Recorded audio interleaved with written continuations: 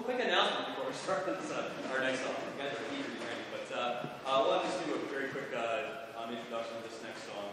Um, this is uh, one of our favorite pieces. It comes from uh, the uh, famed musical Les Miserables.